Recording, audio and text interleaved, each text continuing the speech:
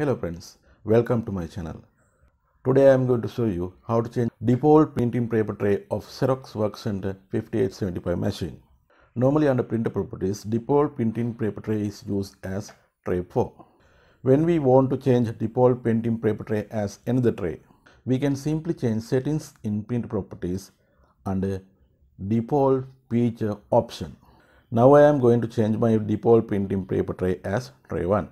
To change that setting, simply go to the devices and properties and select the printer that we are going to change the setting.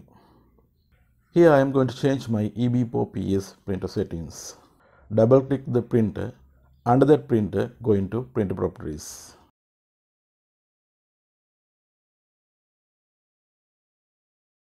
In the printer properties dialog box, click advanced tab. Now you can see under advanced tab printing default option. When we click that option, we are going to printing default dialog box.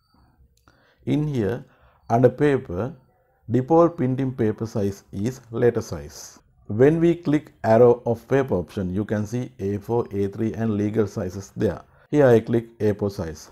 Again click that arrow and click select by tray option and select tray 1 now you can see printer tray 1 is selected as default printing paper tray which shows light green color in the picture shown in the uh, printer box.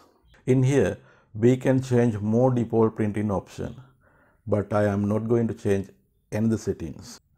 After change settings we need to apply that setting by clicking apply button.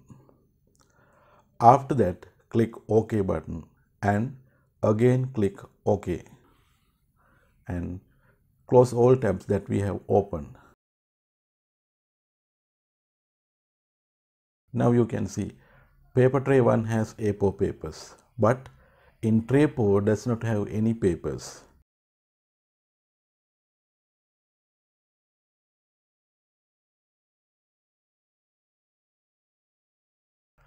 Now I am going to print some documents to see whether change setting is applied.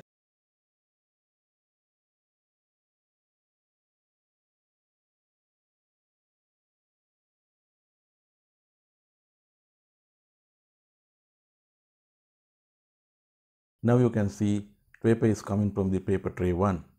Thank you.